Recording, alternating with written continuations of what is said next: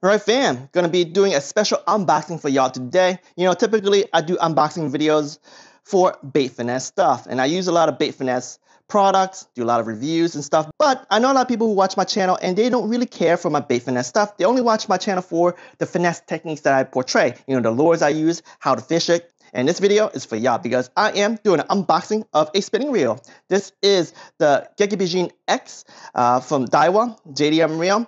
But anyway, these two reels, I've gotten it from Amazon. Amazon um, are selling Japanese reels from Japan, okay, directly from Japan. So you do get a huge, huge discount due to the currency conversion. So uh, for my spinning fans, once again, this video is dedicated to you. So let's get this video started.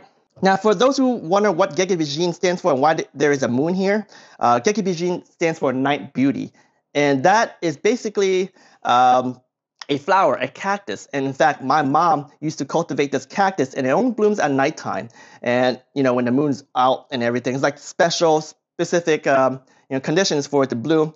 And it's a very, very beautiful flower. My mom's very proud of growing it. And that flower is edible too. And man, I'm telling you, every single time it blooms, after it blooming, after we finish uh, uh, admiring the beauty, we do make soup out of it. And there's like nectar and it is so amazing, okay? Uh, but anyway, enough of that let's talk about this reel itself. Um, history for me, I played a lot of uh, cheap spinning reels, never a Japanese reel, and I want to see if this will help line twist issues. Okay, that is something that I don't like to do. Uh, is get line twists when using spinning reels, especially when fishing uh, light lures. It makes your lure when you reel in with very, very, very, very little tension, and it causes line twists. For this reel here, it sports what they call the air drive design, which is composed of two things, the air drive rotor and air drive bail. Y'all can read more about that on their website. I don't want to go through the whole thing, but from what I understand, right, uh, these two together will help reduce the total weight of a typical spinning reel, but without sacrificing any strength. And then also with their roller and also the way it spins, right, it's supposed to reduce uh, line twists and everything like that. Okay. Um, this thing is mag sealed, so basically they have a special magnetic oil in their uh, bearings, and they do have like five plus one, uh, the roller, of course, right? And having that will reduce the amount of salt and any other debris that gets into the bearing itself, which is pretty, pretty cool. The ATD Type L, that is like a sophisticated drag system, and I've said this to a lot of folks before. Uh, one benefit of spinning reels over bait casting is how intricate their drag systems are. Okay, uh, it's not like a constant drag; it's tapered, so it handles like sudden bursts of powerful fish in saltwater realm because this reel is made for saltwater, right? So it's pretty cool. I want to experience that. You know, uh, using bait casting, I usually have lower drag and use my thumb to feather it. That makes you know it versatile in a way, but you know, sometimes you over thumb it and you may snap line, blah, blah, blah, right? So it'll be really cool to experience some crazy battle, ultralight style with a intricate drag system, okay? So last thing is the long cast ABS. Uh, basically, it's the top portion of the reel, which we'll take a look at in a second. Uh, they say it's supposed to reduce friction, allowing longer casting distance. Yay, okay? Uh, spinning reel is all about casting distance, right? Uh, what else do I have on here to talk about? Uh, nothing really here, but they say this reel is made with Zaion 5, is their special carbon hybrid uh, material that is lighter than metal. All right, let's go through some other specs. Okay, so this is a 4.8 to 1 gear ratio, and it is 60 cm per turn or 23.9. This thing is 6.5 ounce, has 11 pounds of drag, and have five bearings plus one roller. All right, and for the capacity, okay, 0.3 goal braid um, that is 200 meters or uh, 218 yards, 219. Okay, so yeah, this is a pretty darn cool. Um, I'll probably use 0.4. We'll, we'll see, right? We'll see. But anyway, it is time to open up the box, take a look at the reel, see how beautiful it is. Looks like the parts list is on the side right there on the box. got a bunch of paper and stuff, which, ooh, I think I see a handle or something right here. Hold let's take a look. All right, so the handle is right here. So we'll put that on. Anything else on the side here? I think that's it. And here we go. Look at that. They even protect that right there. All right, here we are. This is the real unbox. Okay, I gotta put this on. But before we do that, let's take a look at it, shall we? What I really like is this guy right here, the accent, the red accent on this. That's actually a moon. It doesn't go all the way around. It's basically like this guy right here. Hold up. Focus. That moon. Cool, huh? Yeah, I like I like the color, man. The Gekko color is, is, is on point. You have your black, you have your red, you have a little bit of white just for text or just some sort of gray. Mm, it's white. And then we have this dark gray, um, silverish color to match the bale. Very, very beautiful. And then you have it uh, down here too. Okay, all plastic there. Or shall I say, um, a Zaion 5. Cool. Anyway, let's put this guy on.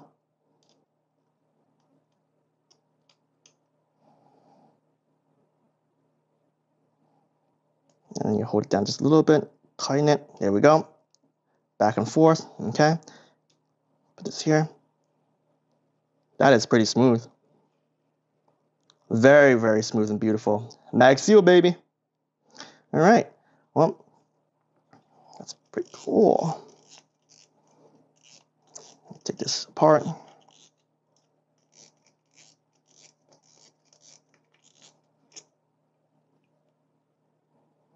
Okay. I have no idea why I'm taking that apart because, uh, you know, I usually take uh, the spool out of my bait finesse reel, but might as well take a look at it, right? but yeah, I think um, this is going to be very fun. Uh, I'll do some ultralight fishing with this because, uh, well, I'm sure you guys want to see how well this thing performs for the price. It's around 100 bucks, 100 to 110, depending on uh, uh, when you buy it uh, for the currency conversion. All right, and finally, we are talking about the spool itself. I know it should be one of the first thing uh, we covered here because this is a extremely shallow spool for a spinning reel. Okay, it's not BFS, right? So it doesn't need to be shallow. Well, in my opinion, when it comes to ultralight reels, it should be shallow, just like this, because I don't want a deep spool because you're gonna have a lot of line. Like you gotta put a lot of line on this in order to max it if it was a deep spool. But you'll be like, hey Jimmy, you could do a backfill. Sure, you could do a backfill, but how much, right? How much do you need? And also, you're gonna create a knot, and you make sure you gotta put that knot all at the bottom. Else, when you're casting, if your line as it's dispensing out catches that knot, well, that's basically gonna cut your uh, casting distance down. Okay, you don't want that. So anyway, back to the point, right? If you have a deep spool, the only way you cast far is if you have your spool max. If you have a deep spool and you're running out of line, let's say uh, you have 50% line, that is a bad position because you know why? Because when you have less line on this, right, when you cast out, it, the line spirals out. The less line you have, the smaller that spiral comes out, and it's gonna rub on top of your spool and reduce your casting distance. Okay, which is why spinning reel folks they don't like thick line because it depletes quick and you know eventually it'll rub on the top. It's great for finesse fishing, because you use thin line, especially PE line. Okay, so that's why you gotta have a shallow spool. And the other thing I want to talk about is that uh, I already forgotten the uh, lingo, but they have something uh, something ABS. Okay, they're basically saying that this top part right here, the way they design it, reduces friction. Okay, the way it spirals out reduces friction, so you cast further distance. So there you have it for the spool, and um, I do like this guy right here, it looks like it holds uh, the line really, really good. Okay, so yeah, cool. Anyways, this is it for the unboxing video. If you have any questions, feel free to leave me a comment below. Yeah, it depends on the currency conversion, right? I've seen this going down to even maybe like $95, but it typically around $100 range on Amazon. You guys check out the link in the description below. Next step for me is I'm just gonna fish it. You know, it's not a bait casting reel where I have to see, hey, how low and accurate it cast. This thing could definitely cast light lures, right? So I'm just gonna fish it, right? We're gonna see how well the drag system is because I really wanna see how smooth this is. So um, I'll be fishing maybe some crappies with it, some trout with it. We shall see what the winter bite will bring me. Thank you for watching. The fish don't wait.